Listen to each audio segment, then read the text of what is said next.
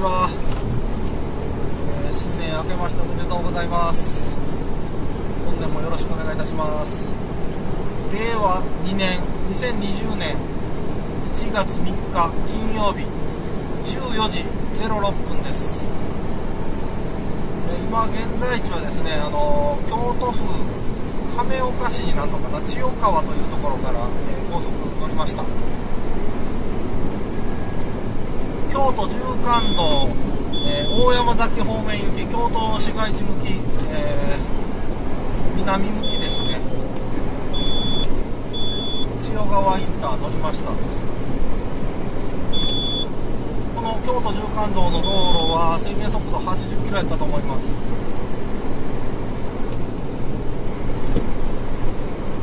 70か80あたりやと思うんですけどね。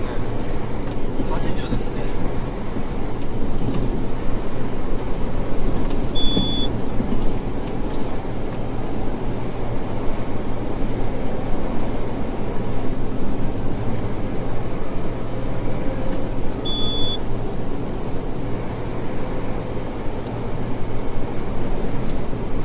京都縦貫道じゃなかった京都縦貫道か京都縦貫道の上り線南行き京都方面行き大井出口です大井出口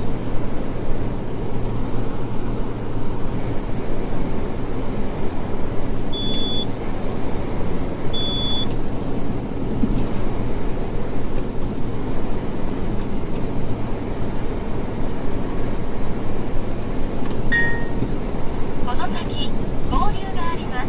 注意してください。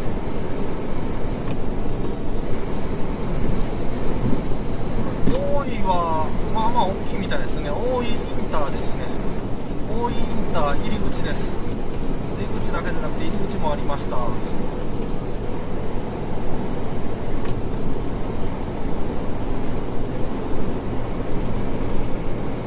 はいえーと皆様ちょっと相談なんですが相談と言いますかちょっと今考え中なんですよね。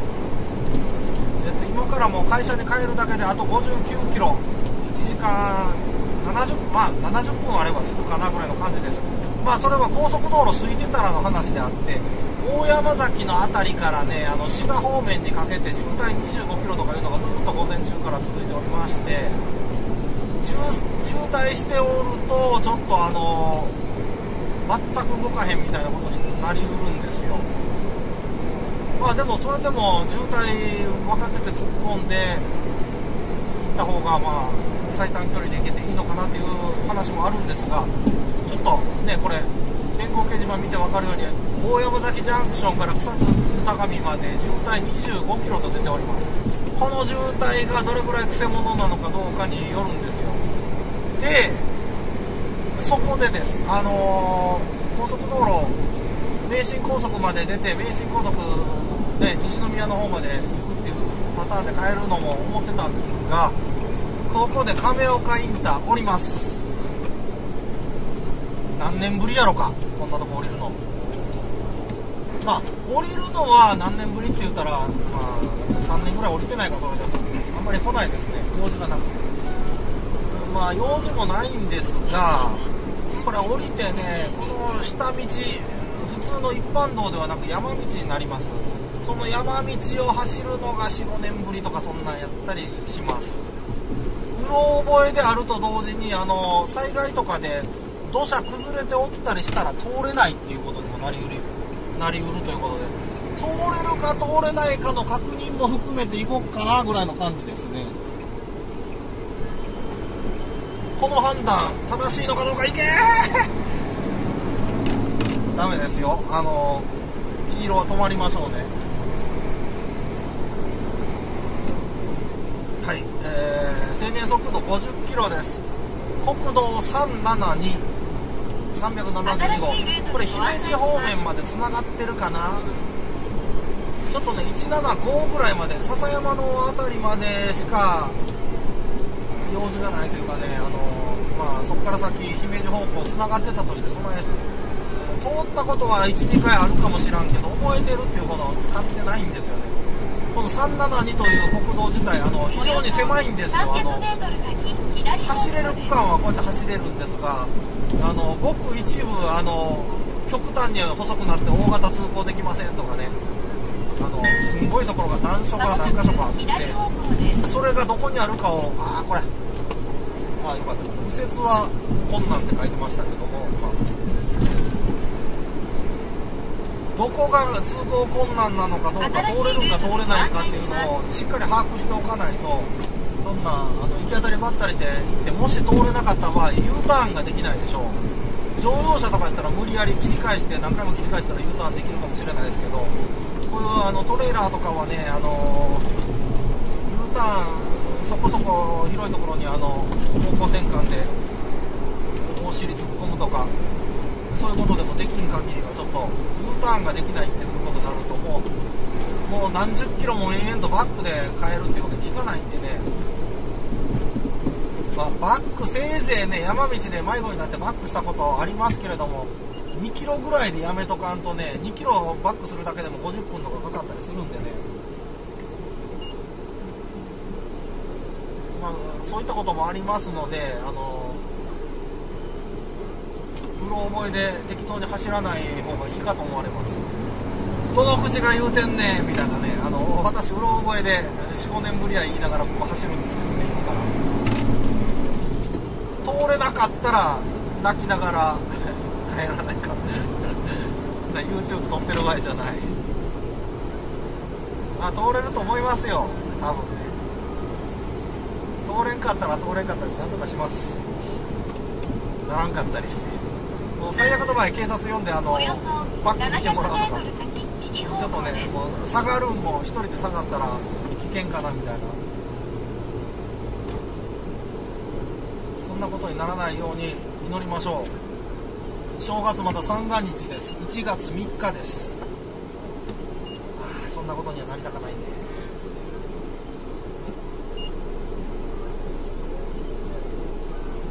なんで危うい橋を渡るんだみたいなことですが大山崎の渋滞本当にねあれ通れるぐらいとかねあの混んでるけど動いてるわとかやったらいいんですよ。全くビタッと止まって動かんようになったりしたらうわやってしまったってなるんでであっち方面行ってからねあの気がついても遅いというか手遅れというか逃げ道がなくなるでねかといってこちらのねあの亀岡のあの山越えというのももう一本、えー南側になるのかな？もう一本隣の峠道はあれですあの通れないんですよここか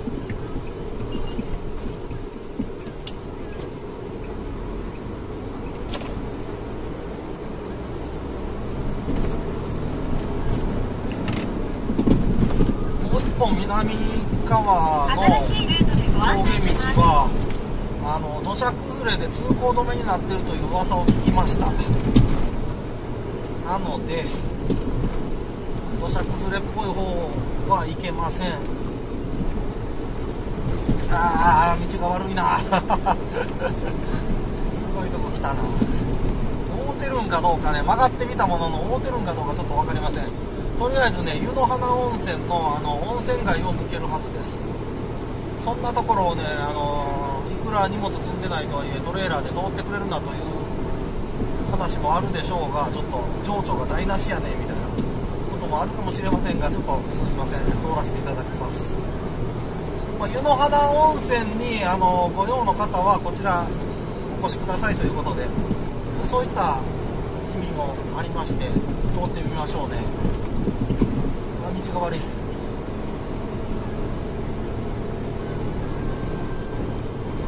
はい。間違いありませんね。この道です。湯の花温泉。あーすごいな。やっぱお正月やけどみんな金持ってるな。湯の花温泉。こんな京都のね温泉地にお正月三が日とかやったら特別料金みたいな。もう本当にセレブセレブみたいな。そんな感じではないでしょうか。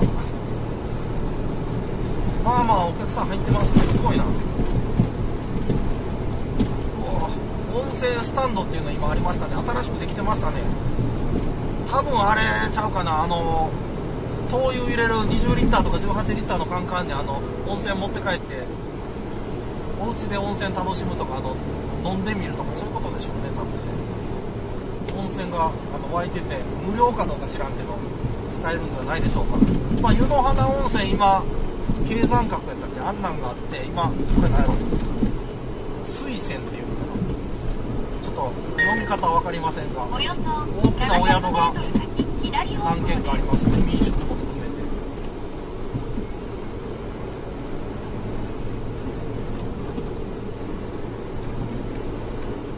湯の花温泉です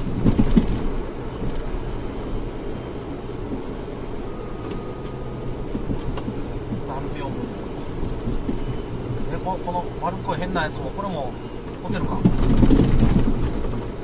デザイナーズホテルかこれは。すごいな。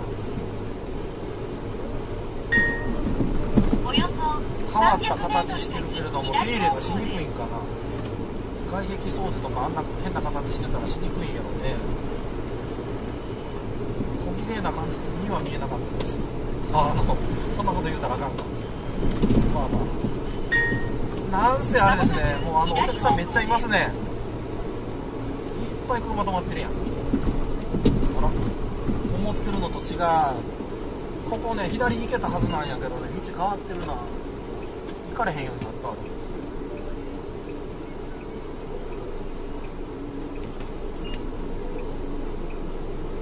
た。はい。これ国道372です。今湯の花温泉わざと通りましたけどさっき走ってたところ左に曲がらんとまっすぐ来たらこの道に来れたんかもしれない、まあ、来れたんでしょう。同じ国道372なので。ただ今左に曲がったことによってどれぐらい近道をできたのかショートカットできたのかちょっと分かりません。ショートカットおそらくね備えできてないんちゃうちゃうかな。もうとりあえず湯の花温泉の温泉街はともかく道ガタガタやったよね。もうボッコンボコンしてたけど。本当はねここの信号じゃなくてそのこの川の一本左側を走ってるあの細い道。あそこを通れてたはずやけどなんか通られへんようになってたね。今、まあ、トラックでは少なくとも通れないですね。乗用車では通れるみたいやけどはい、これまっすぐ行きますと丹波篠山の方に行くんですが国道372まっすぐ行きません。左曲がります。よいしょはい湯の花温泉の入り口このこの辺りからさっきのところまでが湯の花温泉みたいですね。はい県道京都府不動の731不動731です。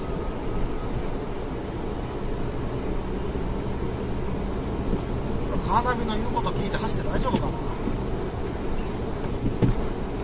さもなくば自自力で思い出さないかんけどね。道をね。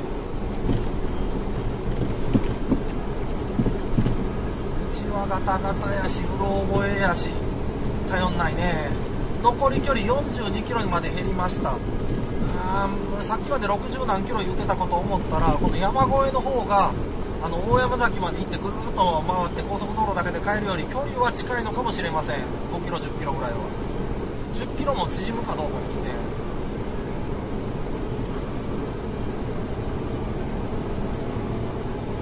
渋滞名神とかでもあの連休のたんびに渋滞するでしょう。連休であるとかあの盆正月大型連休あのゴールデンウィークとかね。まあ名神高速大山崎も混むしあの京都南京都東一東まあ混むでしょう渋滞。大変。それが嫌なのであの京都亀岡からの帰り道。せっかくやから山越えを一回ご紹介しようということで。ご紹介といってもね自分でも通れるかどうかとかあの道を忘れてしまってるんで思い出すために通ってるぐらいの感じです。まもなく斜め左方向です。そうやね斜め左やけどこれ狭いんよな。分かってるけど行かなしゃあないか。あ行かんでいい。行かなくていい。これねあの左行くとあの JA のガソリンスタンドのところに出るんですよ裏道みたいな感じで。ただね JA のガソリンスタンドまで2300メーターですわ。それやったらもうありがとう。それやったらあの太い道に出られた方がいいですね先にね。知れてます。あの裏道通ったら通ったでねあの手前で止まって今こうやって乗用車手前で止まってくれたけど手前で止まったりしてもかわされへんぐらいちょっと1車線ぐらいの広さしかないところがあるんで、まあ、乗用車やったら通れるけれどもトラックはやめといた方がいいですね。この左側に見えてるあのガードレールが白く見えてるあれです。そしてこの JASS このスタンドガソリンスタンド。これの裏っ側に今乗用車で出てきましたでしょさっきのところ左に曲がっておると信号なしでここに出れるんですよ。で私は信号引っかかって左曲がってこう来ましたけれども、まあ、こっちの方が道広いっていうことでおすすめはあの私の通った方です。何本も変わりません。あの後ろにおった車に前こうやって走られてるっていうだけで。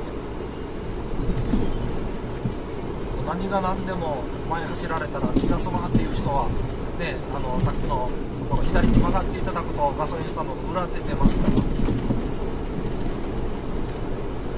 まあ、気が済まない人はあっち通ってください。道ガタガタやね。やっぱ古からねしょうがないね。この時期ねあの雪が積もってても全然おかしくないので冬用タイヤとかチェーンとか持ってない人はやめといた方がいいかもしれません。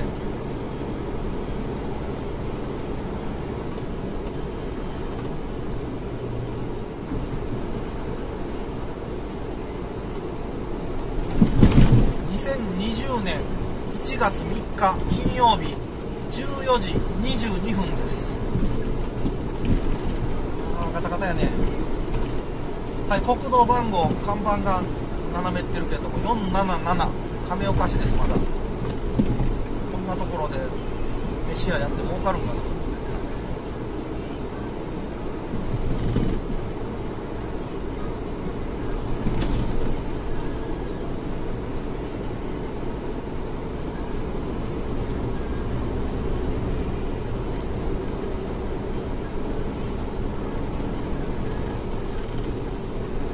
まだ現在この山の中住所的には京都府亀岡市ですね。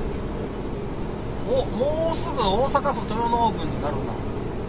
今県境ぐらいですかねじゃあちょうど。大阪府豊能郡能勢町まもなく入ります。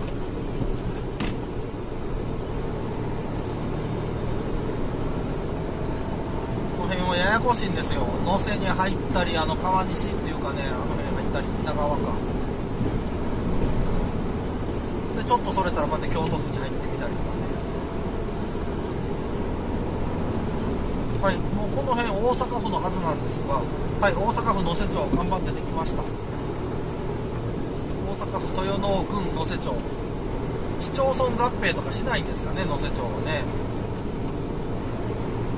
市町村合併するんやったら池田市にひっつくんがいいんか箕面市にひっつくんがいいんか。まあ箕面でしょうね。池田の方にはごめんなさいやけど箕面の方がお金持ちっていうイメージがあるんですがいかがでしょうか。いらんことは言わんとこうか。700メートル先左方向です。700m 先左方向行ったら何があんねやろ。全く思い出さへんねんけどな道を。大丈夫か？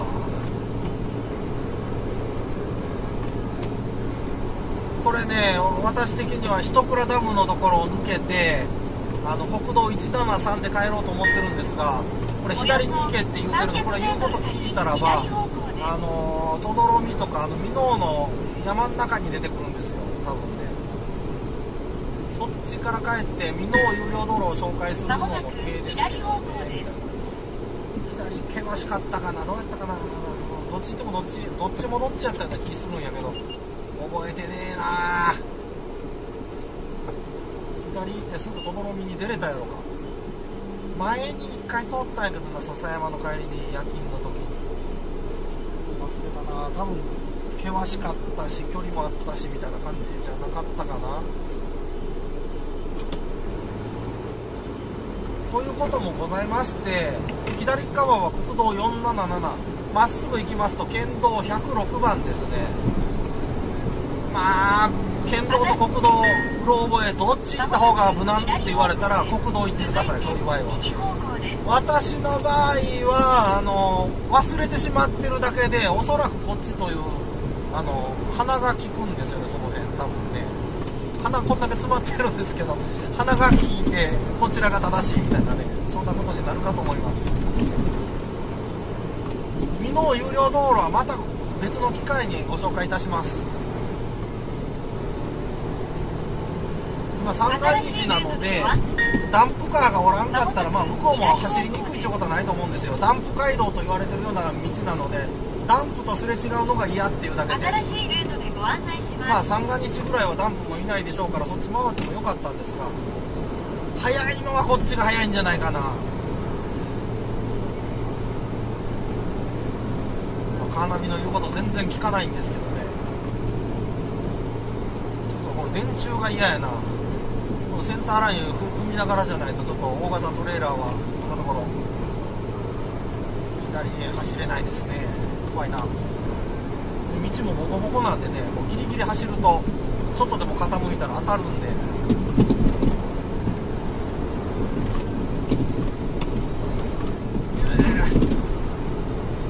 道路が悪い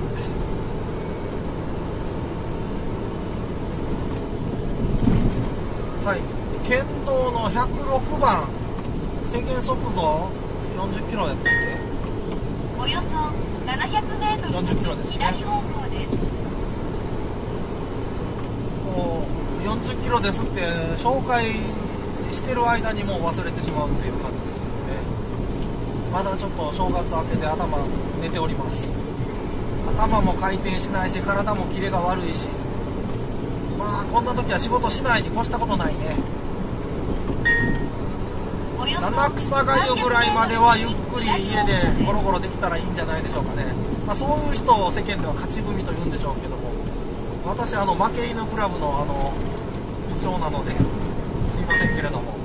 働いております。いきなりはいこれ左行きますとあの猟犬の方に抜けるんですがちょっとそっちの方行くともう狭いんでやめときます。こっちも広くはないんですけれども。まあまあ多分こっちで合ってるでしょうということで黒覚えでこのまま走りたいと思います。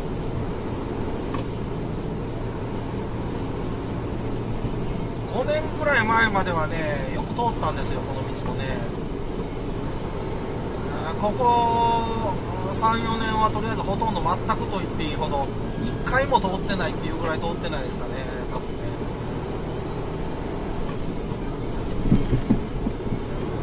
野瀬高校っていう高校があんねんな。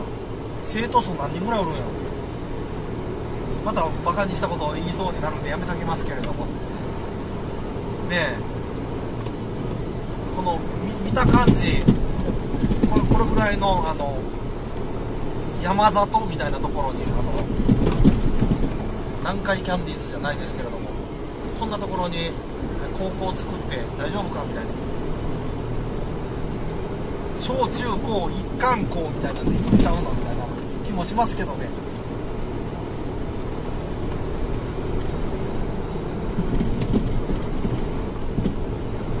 どうやって通うんやろ？バスで通うんかな？想像がつかないね。同じ大阪府なんですけどねあの私は出身が吹田市なもんで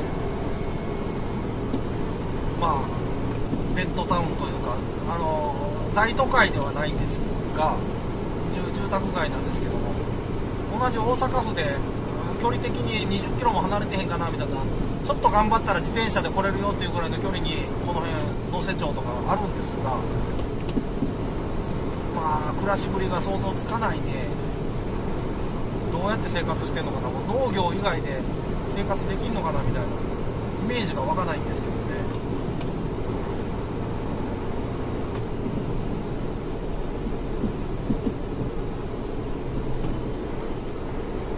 これちょっとこの辺難所です。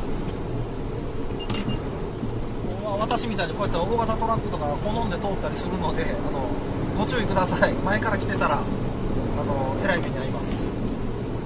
カーブミラーとかを使って前から大きいの来てないかどうかよく見てください。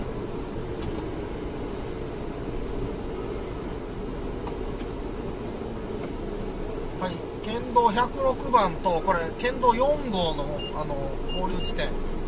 この県道4は使い出がある県道でして国道173と477を結んでおる県道やと思うんですが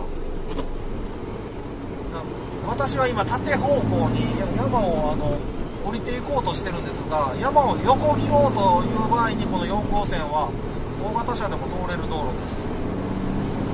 まあ日頃ダンプとかミキサーとかああいうのも多いと思いますけどね。生コン屋さんとかのあのプラントとかが近くにあったと思います。おそらくね。そんな45年あ45年通ってへんわっても記憶がね記憶喪失かぐらいの感じなんですけどもねまあ多分あるんじゃないかなと思いますはい14時31分まもなく右方向です。普段1月の3日って雪景色ちゃうんかなって気はしてるんですが全く雪ないです左方向です。霜を降りて白くなってるわーっていうこともないですね。まあお昼の2時半なんでそうなのかもしれないですけど。今年はやっぱりあったかいみたいですね。お何してんねやろ。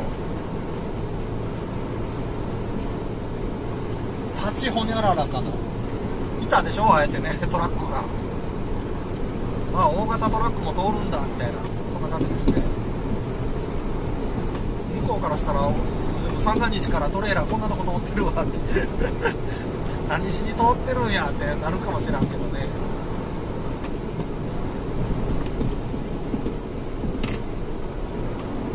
はい制限速度40キロやったと思います。一応あの民家がある人が住んでるところなのであのあんまり変な飛ばし方しないようにお願いいたします。この郵便屋さん怖いな。塗装飲んでる酔っ払ってくよとして大丈夫か？はいチャリンコ。チャリンコ知恵は抜かんとこうかこれよくないね。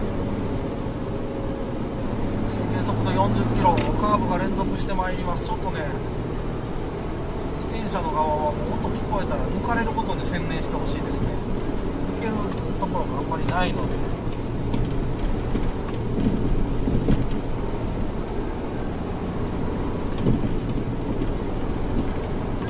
ああいうサイクリングする自転車はあのどや速いやろみたいなんで60キロぐらいでうわーってあのこぐ人おるんですけどその車が来たらねあの踏ん張るのやめてあげてほしいですね。マナーとして。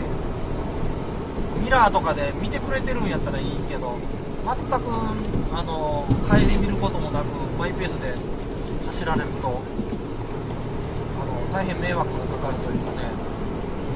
まあ、車だけの道路ではないんですよ。だから自転車でも歩行者でも通っていただいて結構なんですがやっぱり車と人と自転車とみんなあのみんなで使おうっていう道路なんでまあそういうマナーとかねあのちょっと考えていただけると平和にいくんじゃないかと思います。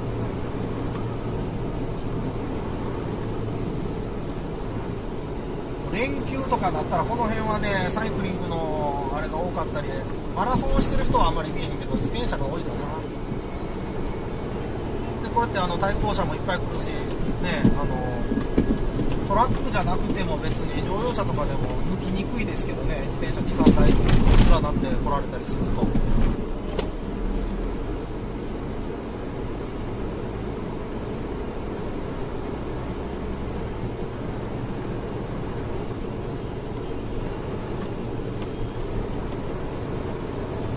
大正解ですねこの道で箕面の有料道路をご紹介するのに等々力の方行こうかなっていうのも一瞬迷いましたがまあまあ今日はこっちで勘弁してください。もうちょっと行きますとねあの一倉ダムっていうあのダムがございます。おそらくね一倉はダムのところにキャンプ場かなんかもあるんちゃうかな。昔小学生ぐらいの頃キャンプしたような記憶があるんやけど。どうかな。まあとりあえずキャンプ場1箇所じゃないな何箇所もカーナビで書いてあるな。そういうとこなんですよ。この辺りはだからゴルフ場とかキャンプ場がまあまあありますね。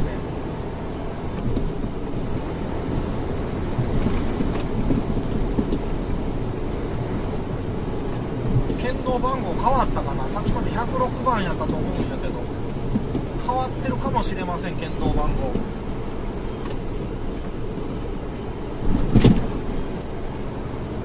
カメラ大丈夫かなカッタンカッタンしてるけど。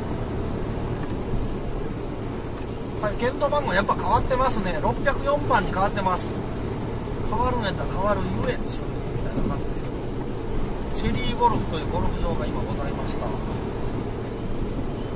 チェリーゴルフ常盤台コースって書いてある。こんなところに神社らしきものもありましたね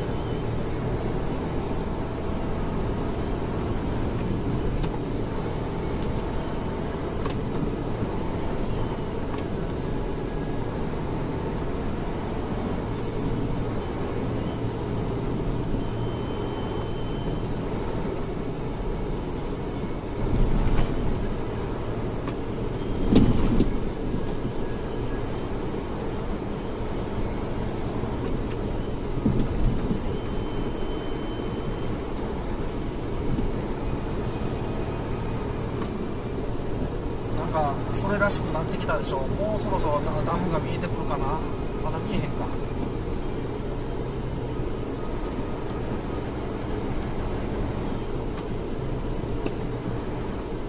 まあ乗用車でねあの走り屋っぽい人はこういうところ攻めるんもありなんですけれどもね。デートコースとかでこんなところドライブしたらまあ空気は綺麗かもしらんけどちょっと車酔いするかもしれないねこんだけねうね曲がってたら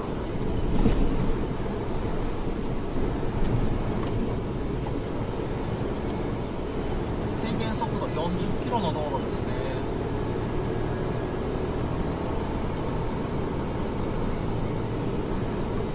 右手が一倉公園と書いてあります。県立一倉公園。県立というからには兵庫県なんやろな。大阪府じゃないんや一倉は。微妙なんですよ。能勢なのか稲川なのか川西なのかみたいなややこしいとこです。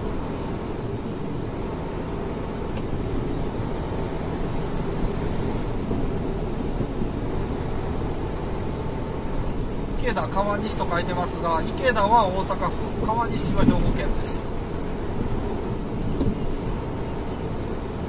はい。ダムが近づくにつれてだんだん乗用車増えてきましたね。追いついてきました、まあ、14時38分亀岡出発亀岡っていうか千代川出発して亀岡で降りて湯の花温泉抜けて、まあ、山越えして30分ほどで方勝負つきましたね。まもなく川西市の方に降り立つんじゃないかと思います。この右前方ももうダムの湖が見えてきたかな。ちょっとカメラでは分からんか、まあ、チャンスがあったら見たらいいねぐらいの感じで。走り屋ではないんか知らんけどあの今のバイクもスポーツバイクツーリングというか一人で走ってはるんやけど。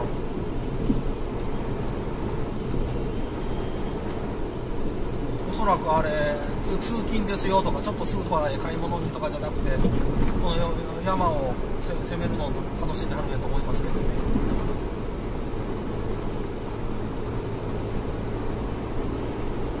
まだ餅はあるけどかまぼこが切れたよとか言ってねあのお雑煮の。ちょっと餅とかね白菜とかはあるんだけどかまぼこが切れたよみたいな。ちょっと買いに行ってくるわみたいなんでそんなことで攻めてるバイクではないと思うんですよね多分。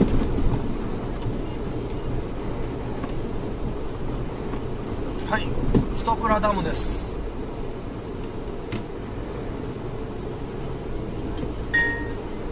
およそ700メートル新しいルートで黒部ダムみたいなそんなわけにはいかないですけどね。まあ大阪であのとええ感じですぐ来れるダムといえばこんな感じですね。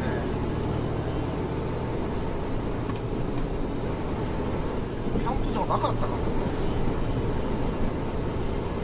気のせいかな。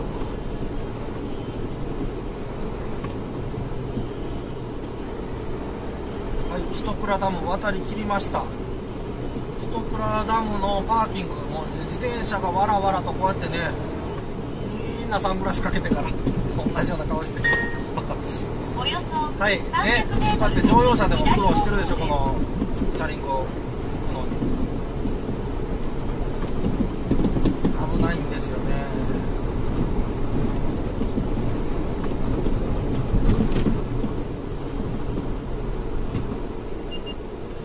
はい。一倉のトンネルも抜けました。この目の前の交差点国道173号線のと伊保野っていう交差点ですねうわチャリンコもう抜いていかんでいいぞ。何してくれてんねんほんま。危ない。すり抜けやめなさい。まっすぐ行けもう。まあうっとしいね何でもありやからこの人たちは。自転車は。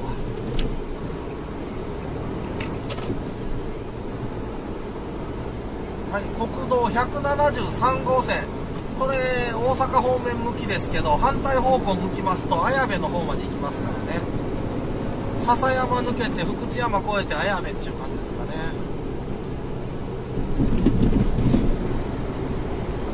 はい一倉のトンネル。これ何何トンネルやろうね。もうこのトンネル過ぎるとあのあれですよ。雪国雪国ではないんですが川端さんねまたトンネル抜けるたんびにあの川端さんのあの有名なやつの冒頭に口走ってしまうんで。はい、えーこれ降りましたらもういきなり川西市になってるはずですこれ。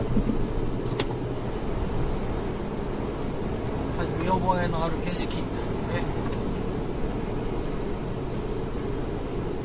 もう住宅地です。もう山道はもうさっきまでで終わりです。住宅地入りました。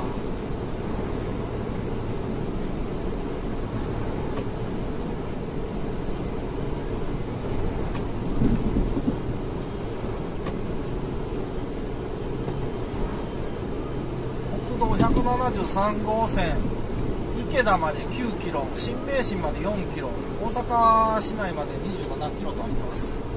新名神4キロもあるんやねまだ。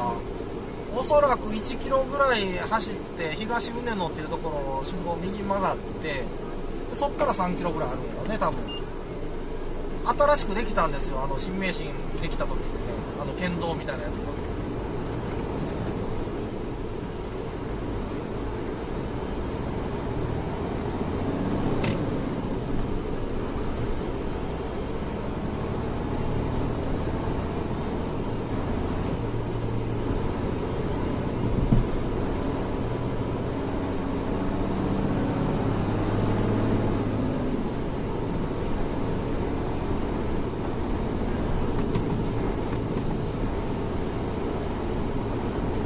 国道173号線これも間もなく終点ですけどね池田の辺りで終点になります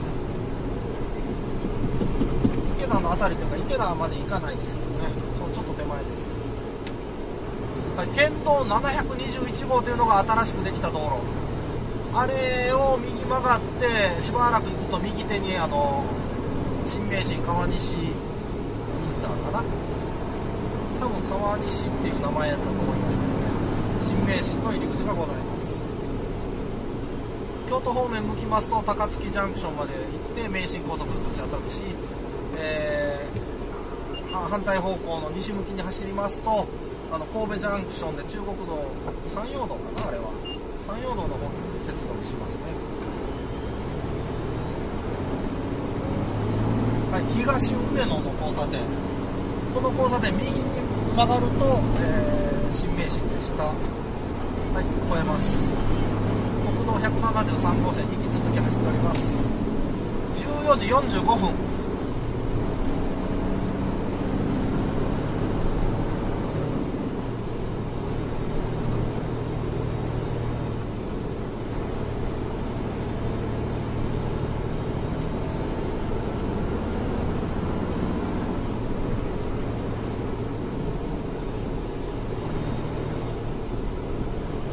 前13時50分出発がそっから70分かかるよって言ってたからまあ高速が吸い取って70分やからこ渋滞はまったらそんなんでは到底つかないのでこのまんまの道のりで道順で帰りますと残り距離23キロであればそうですね。空いてる時に京都縦貫道と名神高速使って走るのと比べて10分ぐらい遅いかなみたいな。感じで一応有料道路走らずにあの山道山越えでこうやって戻ってこれました。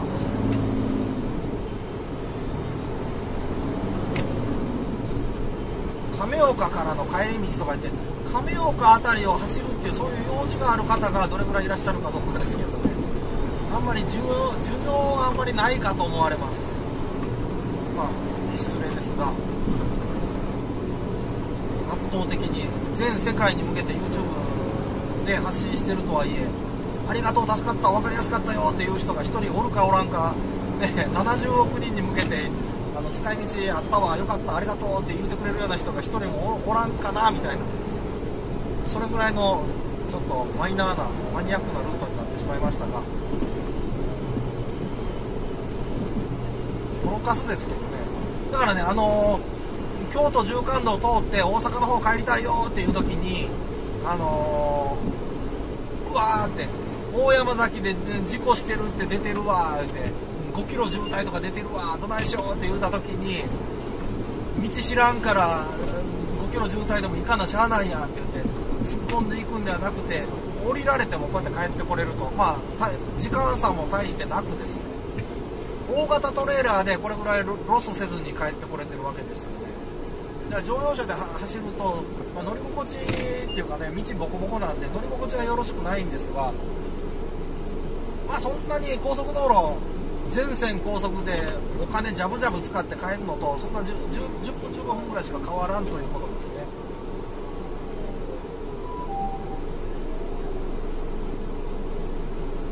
正月から大変やな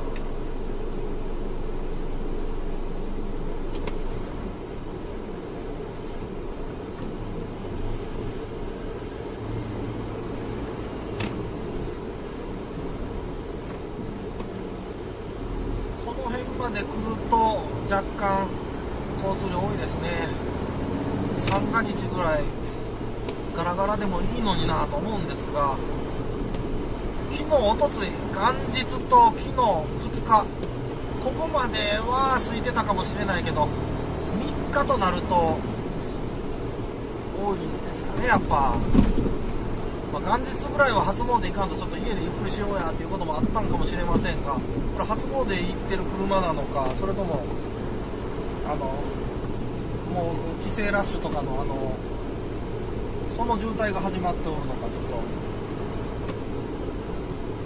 世間の流れを一つも把握してないんですけれどもと私の仕事はね365日24時間ある仕事をシフトで区切ってるような感じの仕事になるんで季節感とかね世間の人らが「はいあの大型連休です」っていうようなそんな感じの仕事ではないので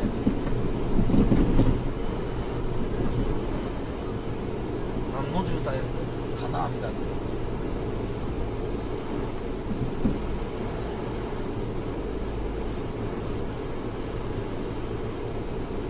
はい、だいぶ降りてきました。山を降りてももう本当に町です。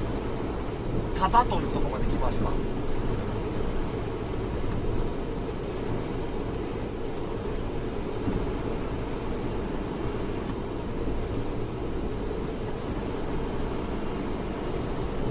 この辺で初詣行くんたらどこ行くんかな。なんかあったかな神社。多田神社っていうのがあるんですけど近い人はそこ行くんやろうけど。川西とか池田とか伊丹とか豊中とかその辺の人はどこ行くんかな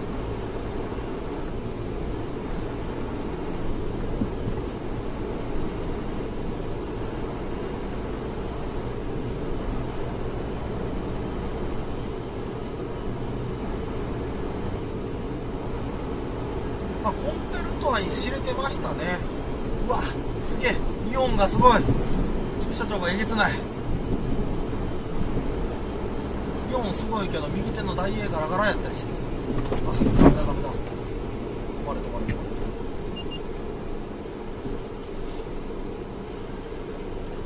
いらんこと言いながら走ってるから急ブレーキ踏んでしまったよ右手これ大英あ開いてんのかな？建物あるけど。や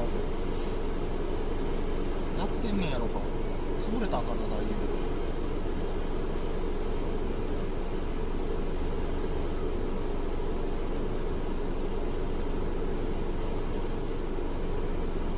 大英私がしょっちゅう走ってたって言ってるその45年前っていうのはこの大英っていうのが幅を利かしていてまだイオンができてなかったんですよ左手にねこれ。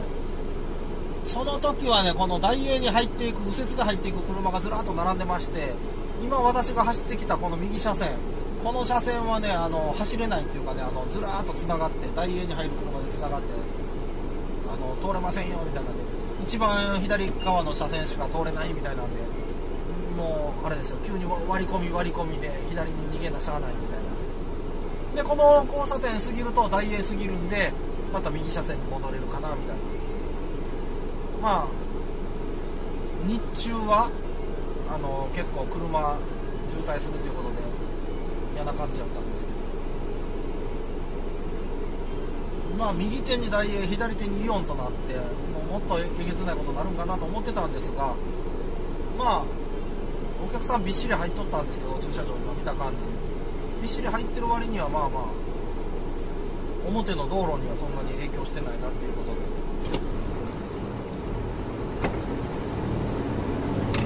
通行する分に関しては走りやすくなりましたね。新しいルートでご案内します。はい。えー、と今銀橋という橋越えまして、まあ、橋橋を渡ったわけじゃないですよ。右側に渡っていったらこの川を川に沿ってあの右側走っても、まあ、ちょっと大型トレーラーはしんどいんですが、まあ、乗用車であれば右側通り抜けられてあの川西池田やったかな。川西池田のあの駅の方に行くんやったら右側抜けて三条道路と言われる方に入っていってもいいのかなと思いますが。と大型トラックとか大型トレーラーは向こう行くとしんどいので引き続き173号線走ります。国道100 173号線。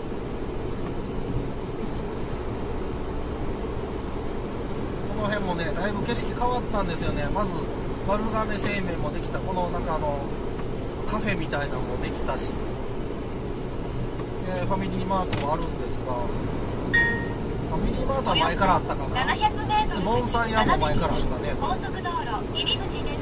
右手にセブンイレブンとかもあったけどあのー新たにあのーガソリンスタンドができてましたね。なんか安売りのガソリンスタンドみたいなやつが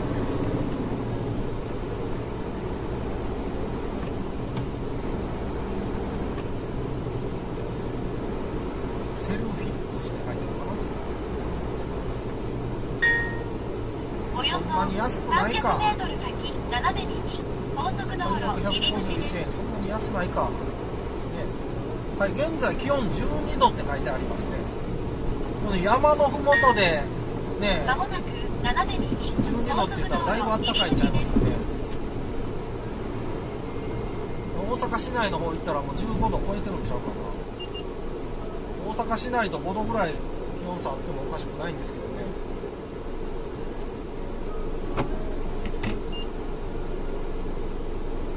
まあ、大阪市に住んでおります。私からするとこの辺は雪国というイメージですね冬になると雪が積もるみたいなそういうイメージなんですけど。今日は12度ございました。はいえー、阪神高速11号池田線池田木部第2入り口というところ入っていきたいと思います。第1入り口はね左側のあの423号線かな。477かなちょっとあの国道番号定かではないんですがこの左から来る分ねあれがあのーさっき等々力の方に行こうかなって言ってた方まああっちから降りてくるとこの左から入ってくるのは第一入り口から入ってくる形になるんですが阪神高速池田線終点の池田とはまた全然別の場所ですこれ。新たに増設された区間、まあ、増設されたもうもう20年以上前から増設されておるんでつい昨日今日の話ではありませんけどね制限速度60キロです。阪神高速池田線に関してはおそらくですが環状線までずっと全区間60キロのまんまと違うかな。1回ねあの大阪空港のところに料金所があるんですがあそこで40キロにせえとかまあそういうことはあるかもしれませんがもう主に本線として走ってるところは60キロでよろしいんではないでしょうか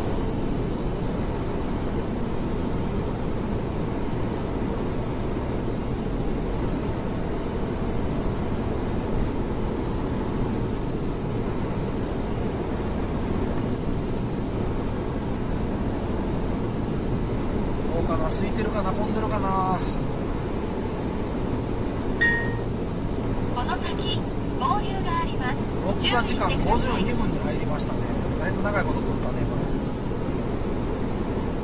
14時57分ですちょっと中途半端なところで刻んだけどねはいで川西尾花入り口です川西尾花入り口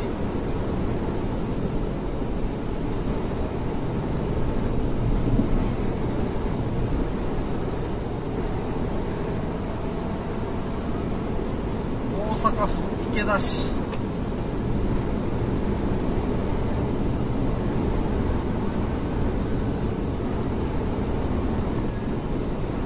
左が池田市で右が稲川町とかそんなんかもしれないね。住所的に非常にややこしいですよこの辺。川を挟んで右側が川西市になるとかそんなんやったかな。はい、えー、阪神高速11号池田線南行き関東線方面神田出口です。神田出口。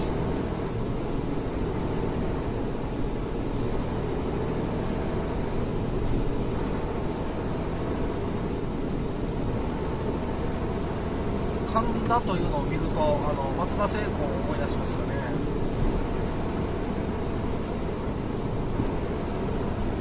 ちゃうかったっけ松田聖子もそうだけど神田うのもあれみんな家族やったっけ？違うよね。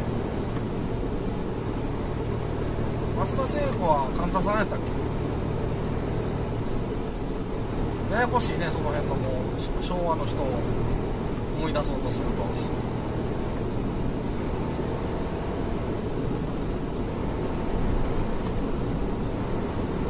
お環状線まで20分って書いてますね。ガラガラですね。豊中南名神高速の乗り継ぎまで10分ですね。もう前からあの大阪空港で飛び立ってきた飛行機が上がってきましたね。あれでスピードどれぐらい出てんねやろか。300キロぐらいで飛んでんのかな。そんなに遅くないかな。どうやろう。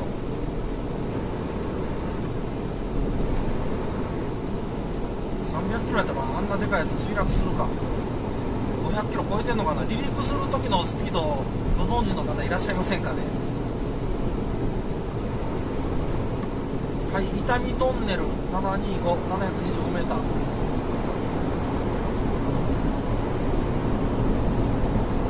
伊丹トンネルというからには大阪府池田市ではなく兵庫県伊丹市に入ったんじゃないかと思います。兵庫県やねやっぱここね。ややこしいんですよ。兵庫県伊丹市やと思ったら今度大阪府豊中市になったりとかしてね。目まぐるしくあの県境が近くにあるもんですから目まぐるしく住所が変わりますけどね。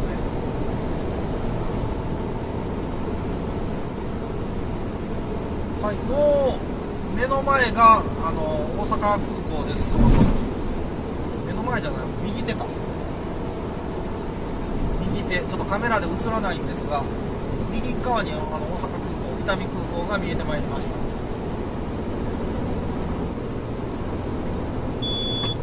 見えないねカメラでは。見えたとしてこの右右の防音壁があるからもうこれで見えないね右手もあの空港なんですよ思いっきり違いなくだからなんだという話ですけれどもはいえー、この道路と並行しまして左側 200m ぐらい左側をあの阪神高速11号池田線の出発点あの池田入り口がございます。その池田入り口の 2300m 西側を走っております。この道路だから後から継ぎ足して作られたものなので別の道路ですがもう間もなくですねあの大阪空港の料金所のところで合流いたします。そこで初めて1本の道路になります。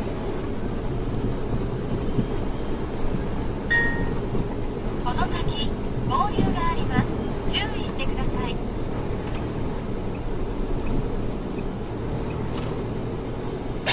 はい。ここでねあの池田入り口から来た車とあの合流します。ご注意くださいち乗って4 5 0 0メーターですぐこういうこの合流がある感じです合ね流があります注意してくださいその先料金所です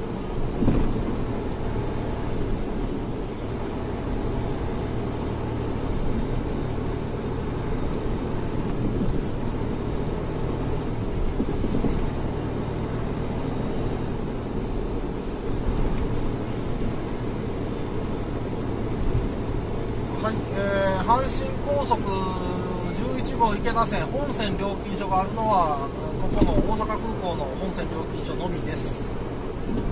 大阪市内方面行き。大阪空港料金所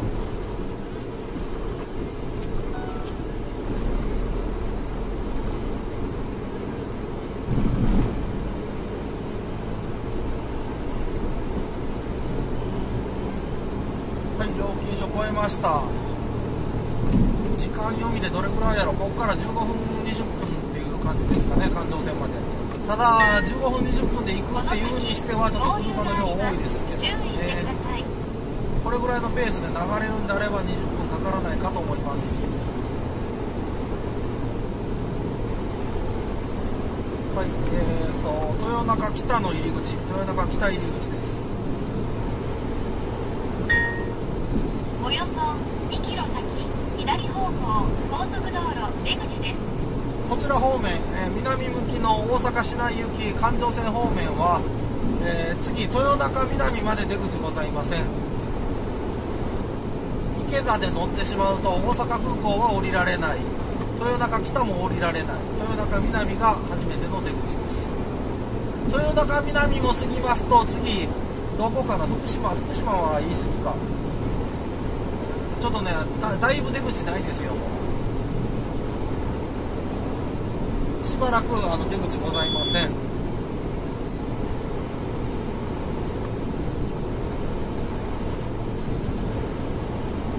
阪神高速11号池田線。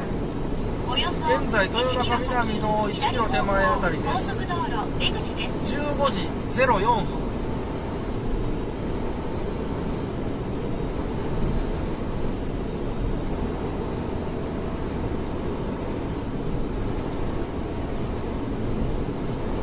制限速度60キロの道路です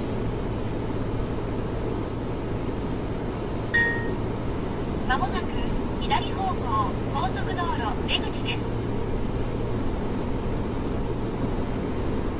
反対車線も平和ですね。34時間前やったらまだ混んでたかもしれないね。こういう大型連休とかこの連休とか言いますとこの反対方面はあの池田出口から豊中北ぐらいまでは渋滞つながってることが多いです。あの中国道行こうとする車がみんなそっち行くんでね大阪空港が混むんじゃなくて中国道の中国池田入り口が混むっていうことでそこからずっと阪神高速までつながってるというそういうことですね。700メートル先斜め左方向です今日はもう渋滞のピーク終わってるようなのでどちら方面も今スムーズに走れております。交通量はあるにしても渋滞するほどではございません2020年およそ令和2年300メートル1月3先日金曜日左方向です。15時05分です。まもなく、えー豊中南豊中南の出口はさっき越えたからこれ名神高速の豊中に接続いたします。豊中南の出口は終わったんですが越えたんですが豊中南今度入り口がございます。阪神高速豊中南入り口名神高速からも合流してまいります。名神高速豊中インターからあのここちらの豊中南へ阪神高速11号池田線の豊中南へ合流することもできます。一般道からと、えー名神高速からとそしてこの11号池田線もともと走ってる車と合流があります目的地まで 5km です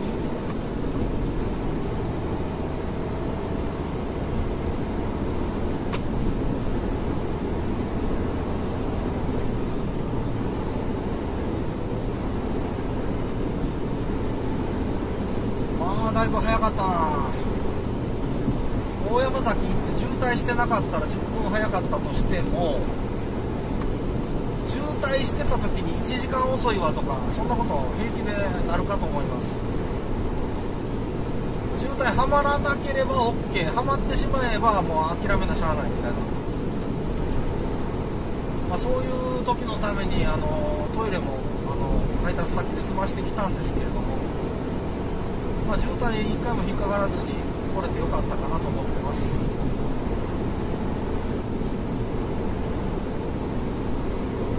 ねでもさっき言ったみたいに京都縦貫道の亀岡からあの下道を走ってショートカットして、まあ、や山越えしてまでっていうなんかそうそれをやろうと思う人がね全世界70億の中であこの山を走りたいよっていう人が何人いるかですよね。3人もいないかもしれないですね。お役に立ったよという人はあのコメント欄コメント書いていただいてもありがたいんですが、まあ、見てくれはするかもしらんけどそんなところ通らんねんけどねみたいなことは大いにあるかと思います。はい、えー、阪神高速11号池田線南向き大阪市内方面環状線行き。制限速度60キロ。まもなく鹿島の入り口鹿島入り口です。出口はございません。鹿島入り口。環状線まで10分と書いてますね。ここからこの10分先か目と鼻の先やけどここから10分か。やな予感福島あたりで渋滞 500m とか渋滞してるかな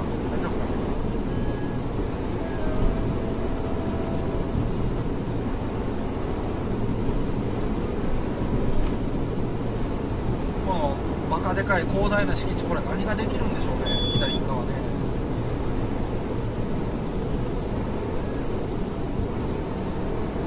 大学とか作るのかな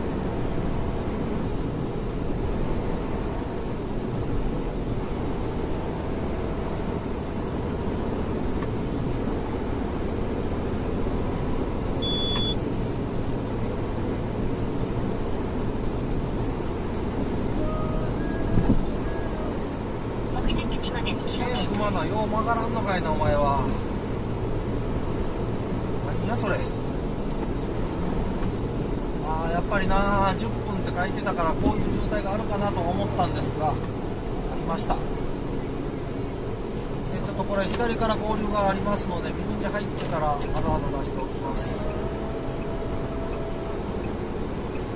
車線変更禁止区間なんでねあの禁止やと言うてるのを無視するんであればいいんですが。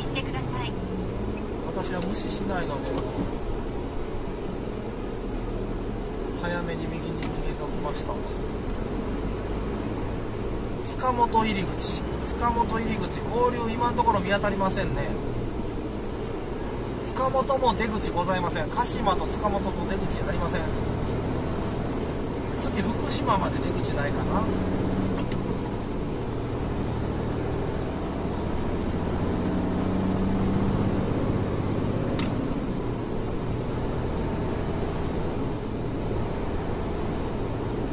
阪阪神高速注意していただきたいのは入り口があると思ってさあ乗ったろかいって行ってみると出口やったりとかね。で出口があると思い込んで走ってて目的地もう着くわと思ってたら入り口しかないとかね。そういうことが多々あると思うんであの私の動画であの参考になさってください。まああのなんですか地図とかねあの普通にネットで調べられてもそっちの方が早いですけどね。実際に道路がどういう風になっておるかとかあのどういう注意点があるかとかそういったものをあの参考になさりたい方は私の動画を見ていただくと事前にまあ1回見てあのこのいやいやうんちくをね偉そうに述べておるこれを1回聞いておくだけでもあのなんというかねあのどんくさい運転しなくて済むんじゃないでしょうかね。走ったこともない初めての道路への下調べ一切なしでカーナビの言いなりで走ってましたみたいな人が急にあの右車線走ってたけど急にあの左に割り込もうとしたりとかしてね。あそこの出口を降りよう思ってたけどあの分からんと走ってて右側走ってたんかみたいな。そんな車よく見かけるんですが私の動画を見ていただくかどうかは別といたいたしましてちょっと予習ぐらいされてからされてはいかがでしょうか？本当にねあの分岐点分岐点みたいなそのたんびにあの看板の目の前で立ち止まってねあの後ろ車がおるのも何にも気にせずにというか看板の前で立ち止まって見てみたり急にハンドル切ってみたりとかねそういうのがいるから事故するとか渋滞するとか。そうなんですよ実際に。運転がうまいとか下手とかそういう問題じゃなくてあの日頃の心がけというかそのスピード違反してまで飛ばさないといけないという人は、まあ、10分15分早く出られるとスピード違反する必要がなくなりますよね、まあ、そういうのも心がけの一つですしであと事故するかしないかというの心のゆとりを持つっていう部分に関しては下調べされるとだいぶ違いますからね。まあ偉そうなこと言ってますが。はいえーと福島の出口言うの忘れたかなひょっと。して梅田の出口大阪駅。JR 大阪。梅田ですね。大阪の北と言われる中心街梅田です。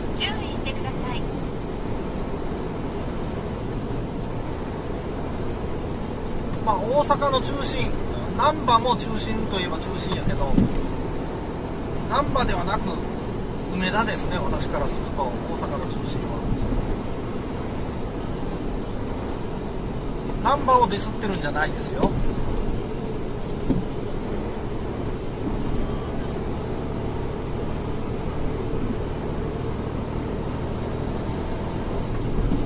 はい、梅田出口通り過ぎてもう間もなく環状線合流。この辺りで阪神高速11号池田線終点となります。お疲れ様でした。はい11号池田線ここで終わりましてこの合流この合流から環状線に入ります。阪神高速1号線1号環状線ですね。制限速度変わらず60キロのままです。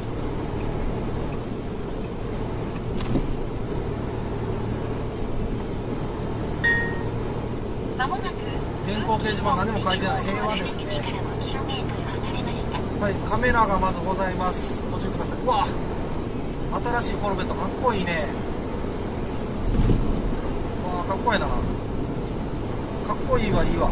あの北浜出口です。環状線1号環状線北浜出口。北浜出口を越えられてすぐ左手。これがあの12号森口線の入り口です。天神橋ジャンクション。天神橋ジャンクションで森口12号森口線に分岐してまいります。はいこちらの方3車線これはあのー、1号の環状線そして左から合流してまいりますあれがあの12号の森口線からの合流になります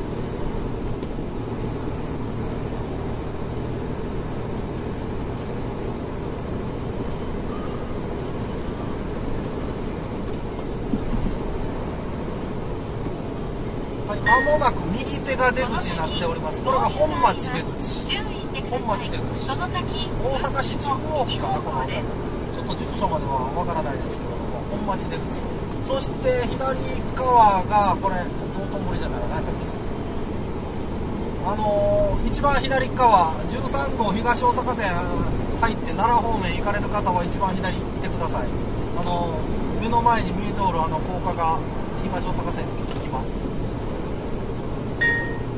一番右走っておると東大阪線行けないんでご注意ください左方向ですまあね、あの無理に左にあの車線変更しなくても、あの環状線ですので、一周ぐるっと回っていただくといいのかなと思います。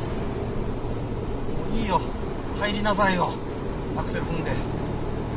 40キロやで、あんた、いくら姫路ナンバーやから言って、だから予習しなさいと言うてるでしょう。ねえ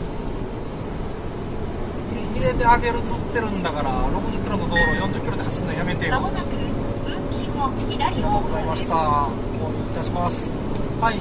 右側一番右側の車線のみが1号環状線です。この私が走っている真ん中の車線と左側車線は、えー16号大阪高専天保山泉佐野方面行きか、えー3号神戸線に入るかまあその分岐がこの先ございます私は神戸3号神戸線行くのでこのまま真ん中車線走り続けます。西千葉ジャンクション西千葉ジャンクション。ああ言いにくちょ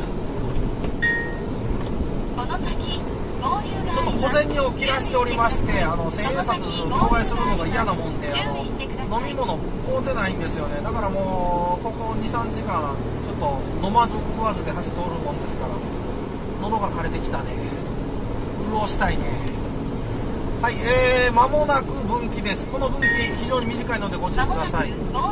まず右側がこれ阿波座の入り口。阿波座入り口です。阿波座入り口からねもうあのちょっとしかないんですよ。500m ぐらいかなこれ。右側一番右と私が走ってるこの車線があの3号神戸線行き。そして左側の2車線。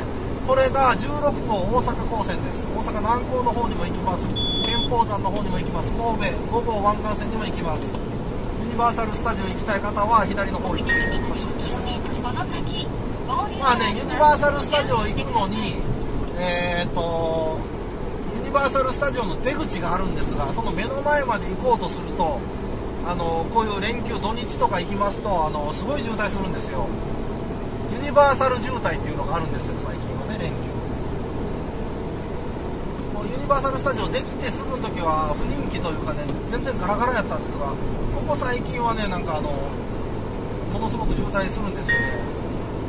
でそのユニバーサル渋滞あの知らない方はユニバーサル渋滞ハマっていただくのも結構なんですがそんなとこ行かずにねあのなんと言いますか北港通り走られてっていうかね下道で行かれるのもいいかもしれないですね。まああの姫島の出口降りられて左に曲がり国道43号線に出ますからそれ左に曲がるとあの次の出口次の出口というか次の大きい筋が北港通りなんでまあちょっとあの新淀川っていう大きい川を渡らないとダメですけどねちょっとね下道をねあの56キロ走らないかんようになるんですがまあ下道56キロ走るっていうだけのことで渋滞回避できるんだったらそれもありかなとは思いますがいかがでしょうかね。はい今現在走っておりますのが3号神戸線です。ちょっとあの紹介するの遅れました。中之島西やったかな。入り口がありました。ちょっと紹介してません。すいません。はい今野田阪神の駅駅の辺りをっております。これねややこしい。さっきちょっと言いかけてやめたんやけどあのー本当はねこの目の前に見えておるエビエジャンクションというのが目の前上高架道路見えてますでしょう。エビエジャンクションからあのー阪神高速2号淀川左岸線っていうのを行けばユニバーサルの方行くんですが北港通りの下を地下を走ってる道路なんでただねあの反対方向東向きしかあの行けないんですよ。西向きこの神戸の方向かって走っておる私と同じこっちの方向かって走っておる方は淀川左岸線から合流してくる車はあるんですがあのー淀川左岸線に行くことはできないんですよ。その辺ちょっとご注意ください。ここの左からの合流これ淀川左岸線からの合流です。そして1個手前の合流がエビエ入り口からの合流だと思いますね目的地まで 2km ですはいません。私あの次降りますので高速道路降りますのでご視聴ありがとうございました。結局1時間16分が長いなこれ。ねえ新淀川という川を渡っております。ご視聴ありがとうございました。もうなんやったらもう池田線入るぐらいのところでやめてもいいかもしれないね。ちょっと長引いたね。ごめんなさい。ご視聴ありがとうございました。失礼いたします